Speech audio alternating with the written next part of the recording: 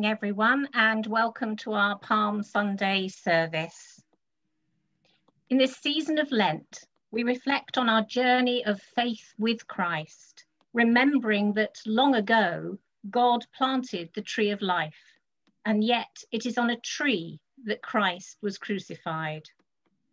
We are again reminded that life comes out of death, and we are promised that death does not have the final word.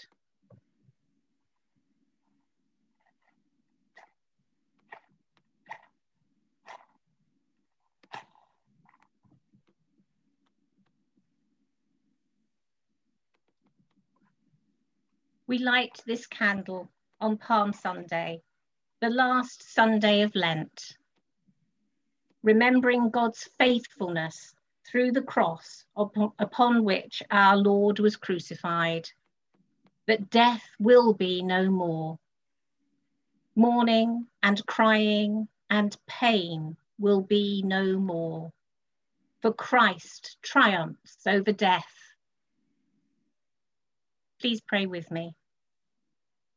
As the days lengthen, dear God, may we remember that you are the one who calls life out of death, that you are the Lord of our lives. In the name of Christ, may we have the strength found in him to journey towards the cross. Amen. So as we start our worship this morning, we come to our call and Kathy will be leading the responses on your behalf this morning. And if you've got any palms, this is the time to be waving them. With cloaks and leaves laid in the road, let the people shout. Give thanks to God for everlasting love. With arms stretching high to wave and to welcome, let the people shout.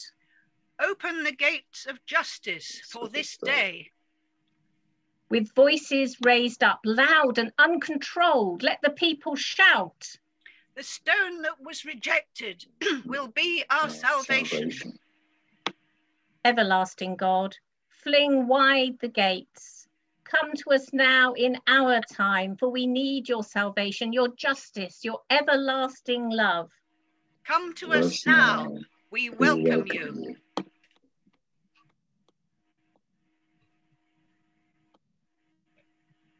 And now we come to a time of prayer.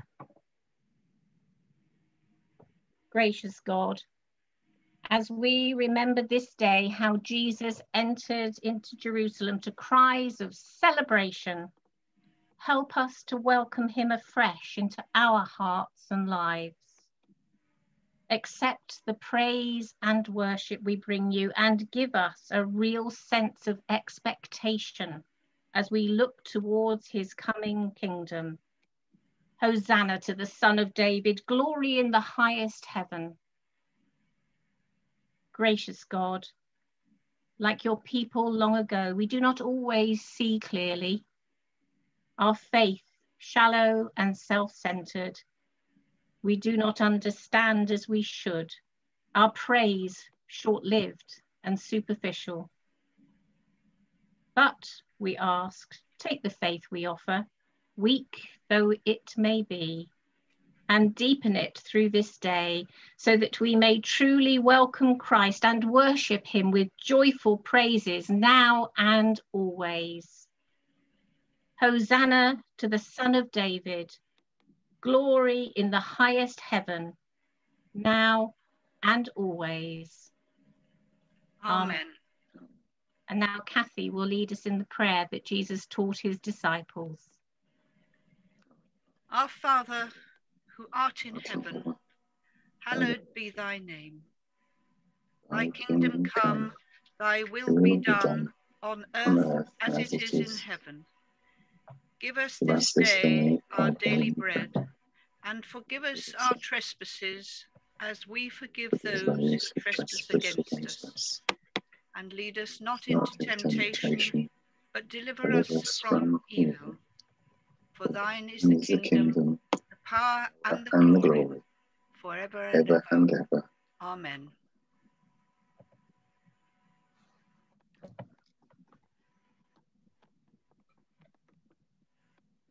And our first reading this morning, Steve is bringing to us from the Good News Bible from the book of Psalms. Give thanks to the Lord, because he is good and his love is eternal. Let the people of Israel say, His love is eternal. Let the priests of God say, His love is eternal. Open to me the gates of the temple. I will go in and give thanks to the Lord. This is the gate of the Lord. Only the righteous can come in. I praise you, Lord, because you heard me, because you have given me victory. The stone which the builders rejected as worthless turned out to be the most important of all. This was done by the Lord. What a wonderful sight it is. This is the day of the Lord's victory. Let us be happy. Let us celebrate. Save us, Lord. Save us. Give us success, O Lord. May God bless the one who comes in the name of the Lord. For the temple of the Lord we bless you. The Lord is God. He has been good to us. With branches in your hands, start the festival and march around the altar. You are my God, and I give you thanks. I will pro proclaim your greatness. Give thanks to the Lord, because he is good, and his love is eternal. This is the word of the Lord. Thanks be to God. We're now going to see a, short video which is about the donkey owner and this was recorded by a URC minister based in the Southwest, Phil Nevard. And the reason I wanted to include this this week is our reading in a moment will come from John's Gospel. And it's a little bit like Christmas. We amalgamate stories from the different Gospels and create one whole. But in John, there is no scene where the disciples go to collect the donkey. The donkey just is. So I thought we would have some sort of interpretation of how the donkey came to be there. The donkey owner. They were having a way with me donkey. Two of them, bold as brass in broad daylight. Oi, you! Get off me donkey! They looked at me, calm as you like, with smiles on their faces. The master needs it, they said. I racked my brain. The master? What master? Who's master? And then it came back to me. Ah, the deep, intense bloke who'd spoken to me a few weeks before, out Jericho way. They must mean him. I've been going about my business, ordinary day, when I come across a crowd looking up into a tree. And there was a tiny bloke up there looking embarrassed and wishing the leaves had swallowed him up. Some were laughing and pointing, but others were also watching a preacher guy who was shouting something up at the tree guy. The little guy climbs down, and the crowd follows as he and the preacher guy wander off to a house and disappear inside. The crowd started to disperse. But I got chatting with an olive seller who I've known from years back. And he said that the preacher guy, Jesus, had spotted the little guy, Zacchaeus, up the tree while he was preaching. Apparently, Zacchaeus was the local tax collector. Scum! Jesus had spoken to him and asked if he'd go round his house for tea. Zacchaeus had agreed and had half climbed, half fallen out the tree and set off for Jesus. And here we were. Well, we stood about and chatted about other stuff for a bit, and then out comes Zacchaeus, all in a flap. And he's promising to give away half of all of his possessions to the poor and pay back anyone he'd cheated four times over. Jesus comes out too, and he's smiling. And he shouts, Surely salvation has come to this house today. Well, as you can imagine, there's a bit of a scrum. Zacchaeus gets mobbed by folk claiming to be poor and wanting his stash right now. And as the crowd's attention is distracted, Jesus picks me out, looks right at me, and walks over. I'll be needing a donkey, he says. I understand you can help me. How did he know? I don't have a rent a donkey hat. Though, come to think of it, that's a very good idea. He didn't know me from Adam. I stammered and stuttered. Uh, when, what? What? What? I know, he said. And then he was gone. The master needs it. Of course. Take her. She's all yours. Least I can do. Um, bye. The master needs it. The master needs it. The master needs me. Me! wow. He needs me.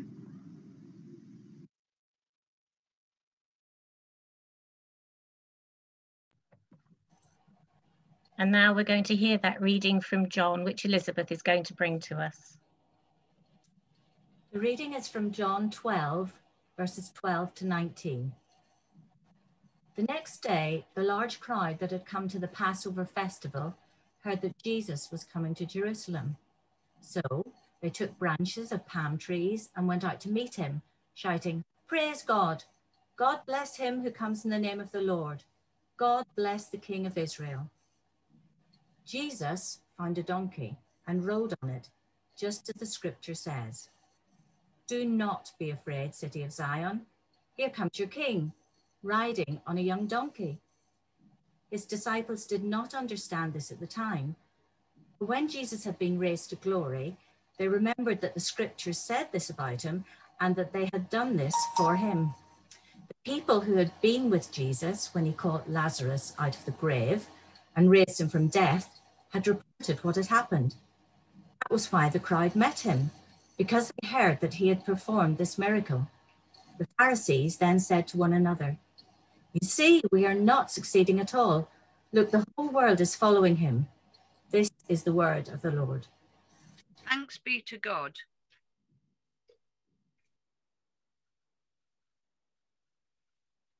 We come to our first hymn this morning, one which we associate so much with Palm Sunday, All Glory, Lord and Honour.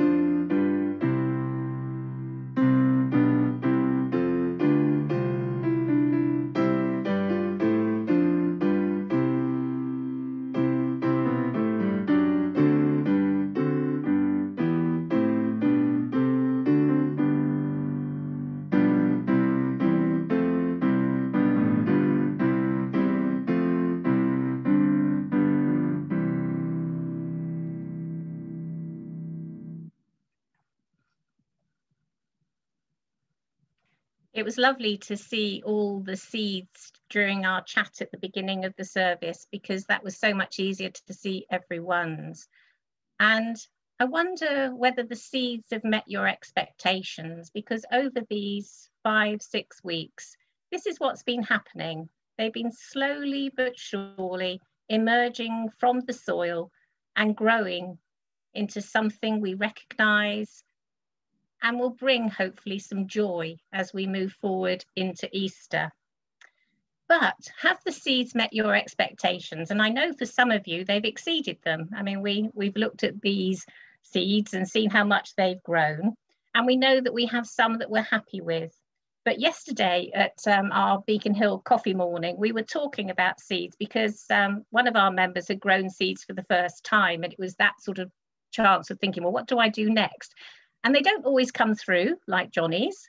And sometimes they do, and they don't meet your expectations. This is one sunflower, which has got a little, I don't know if you can see it, but it's got a sort of falling over look so that one hasn't come through how I expected it at all. It's not lovely and tall and straight as a sunflower might be.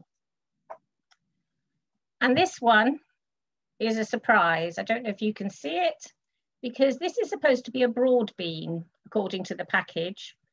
And I was a bit confused because to me that looks like a runner bean. So you don't always get what you expect. And that's happened with some of our seeds as well. So we're going to follow through and think about that when we come to the reflection in a moment, because we all have expectations of other people, of our faith, of how we do things. And Palm Sunday is a really good Sunday to think about expectations. And of course, being Palm Sunday, I'm hoping that all of you have somewhere in your possession a palm cross. And I thought it'd be a really nice idea as we're not together, and I keep putting it in front of my face, I'm sorry about that, um, that we should bless these palms. So if you have one, please hold it up to the window and let us pray. With shouts of joy and jubilation, you entered your city, Jesus Lord Christ. With shouts of anger and hatred, you carried your cross to your death with a cry. You breathed your last and brought us salvation and peace. May these palm crosses remind us that while our love may be like the morning mist that vanishes so early, yours remains constant and true. In this, is our hope and confidence to stand before you. Keep us faithful through times of trouble and peace. And may we rejoice in your eternity. Amen. Amen.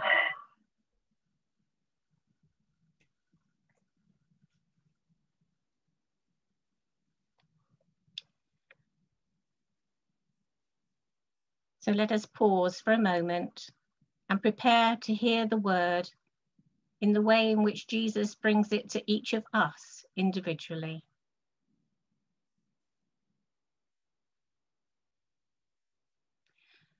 Like you, I have experienced many Palm Sundays over the years as I worshipped in different churches.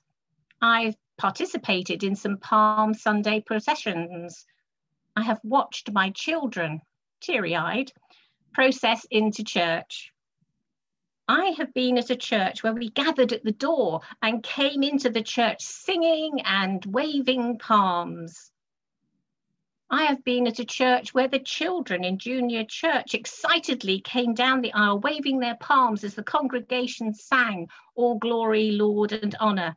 And then, when the account of Jesus' entry was read from John, the children called out, Hosanna, at the top of their voices.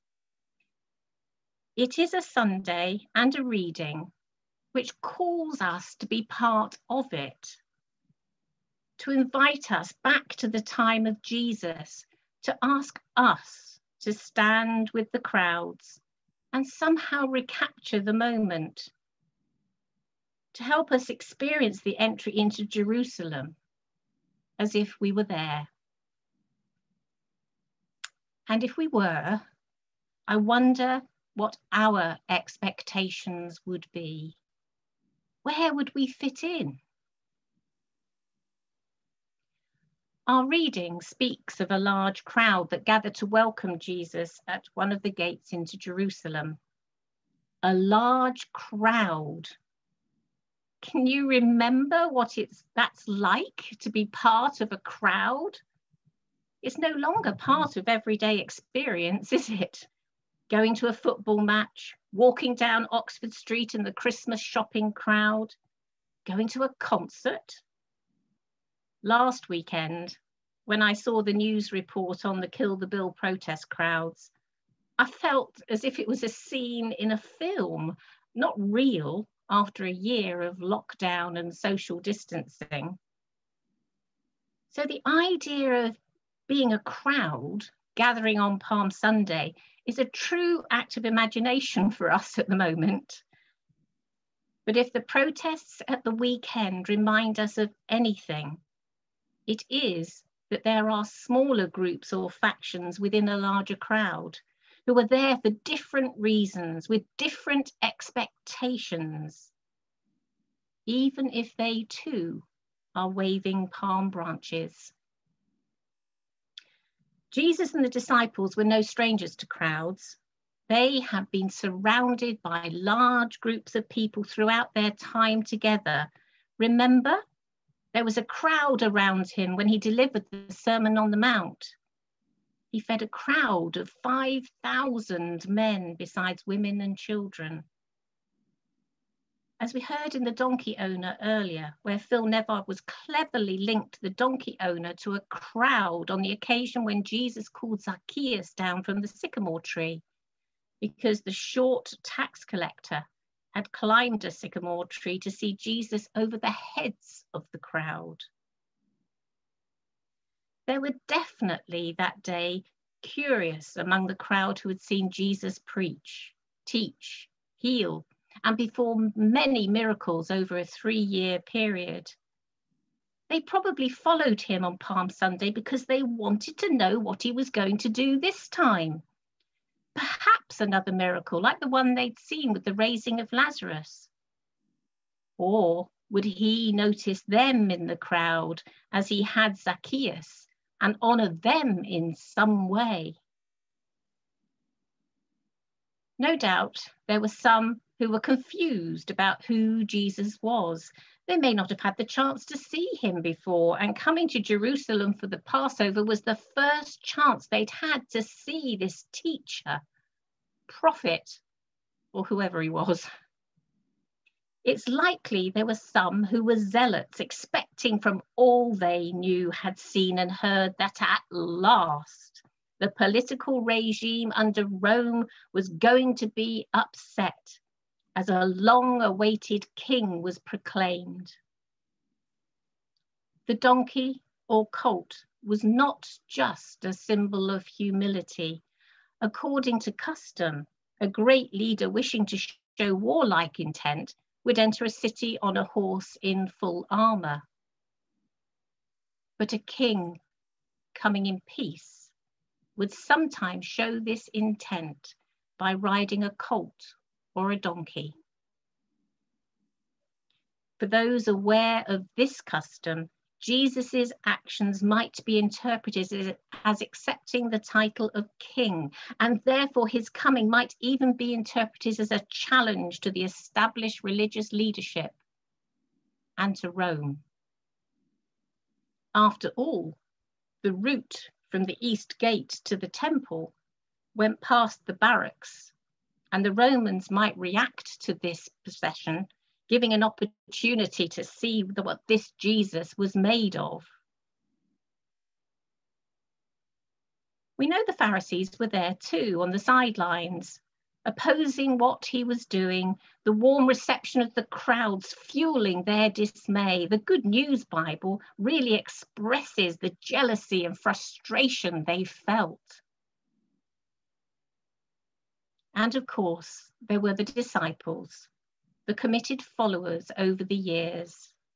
There with Jesus and for Jesus, accepting the principles and values he had shared with them.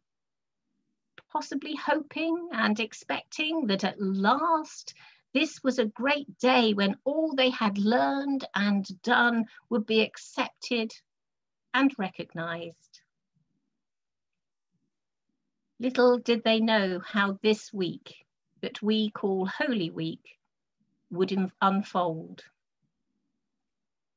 The disciples being confused is what it says. His disciples did not understand these things at first. And I don't blame them. Jesus was the king, but he came to Jerusalem on a donkey. Jesus was supposed to be the Messiah, but he talked about dying. How did it all fit together? All those people with different expectations. The crowd seems to be expecting something that is at odds with what Jesus will actually offer. I wonder how we would have reacted. What expectations do we have of Jesus, our faith? Would we wave and cheer at the one in the parade simply as spectators? Curious or confused as to who Jesus is? Or would we accept the challenge laid down by this extraordinary act of his and welcome him as the Son of God? Accept his humility, his message and values, and stand by him, come what may? In this coming week, the man on the donkey awaits our response. Amen.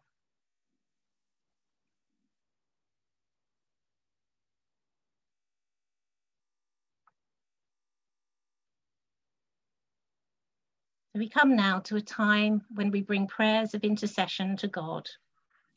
And as we recall Jesus entering Jerusalem, let us gather our thoughts to pray.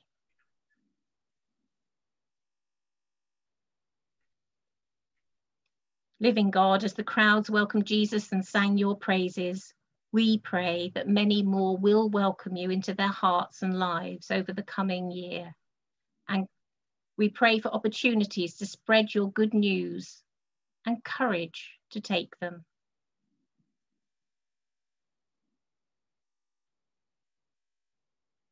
You are our God. We welcome you. living God, we recall the donkey Jesus rode on, and we pray for that real humility in our hearts, which treats status and image casually, and truth and loving service seriously.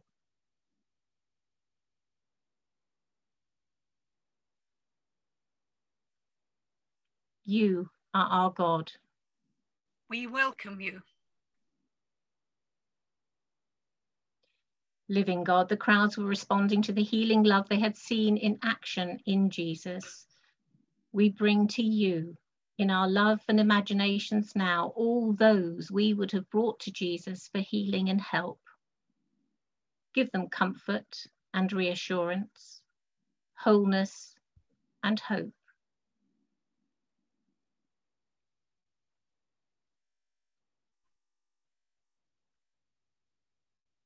You are our God. We welcome you. Living God, Jesus knew he was riding to his death. We pray for all on that last journey, especially those burdened with fear and guilt. We commend to your eternal love all who have died, thanking you for the blessings we have received in knowing them.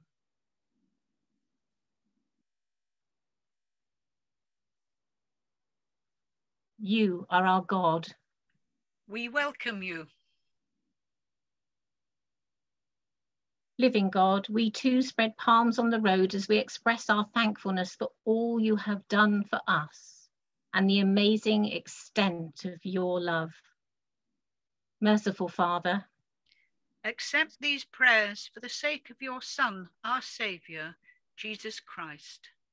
Amen.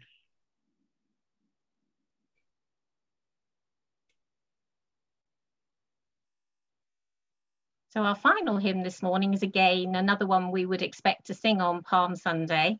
And this is an interesting recording. It was done by a group of ministers, um, again in the Southwest Synod, which Phil has um, given us permission to use. And it includes Susan, Susan Durber, who's a very famous prayer writer and minister within the church. So I hope you enjoy this version of Ride On, Ride On in Majesty.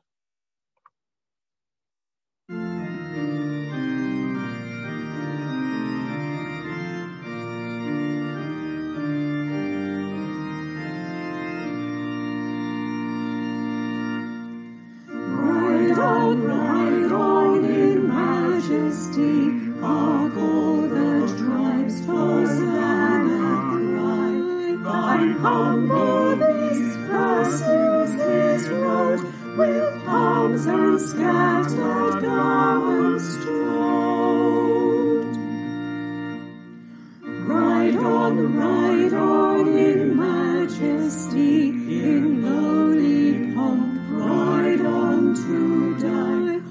Christ, thy trials now begin. O captive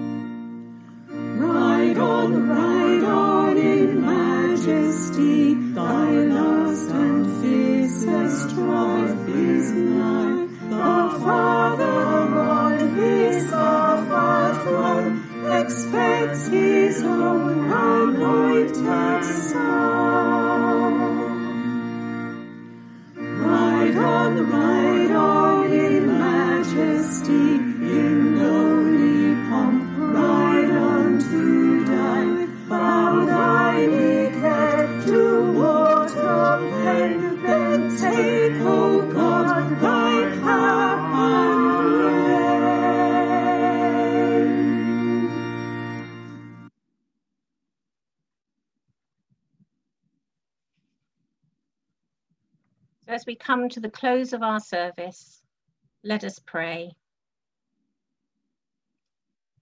Gentle Christ, you set your face to Jerusalem, the place of trial, of torture and death, surrounded by noise, by expectation and by hope. Love unknown, vulnerability unrecognized. Gentle Christ, we will walk with you. We will weep with you. We will watch with you. Our eyes on you, our hearts with you, our lives for you, in humility, in awe, in peace. The blessings of this week will be extravagant, unexpected, transforming the extravagant blessings of the one who remembers those who the world usually shun. The transforming blessing of the one who will tell of betrayal coming, but still shares his bread. The transforming blessing of the one who knows we will not always keep watch, but still call us his friends. The unexpected extravagant and transforming blessing of Christ, beaten and crucified, be ours this week and forever. Amen.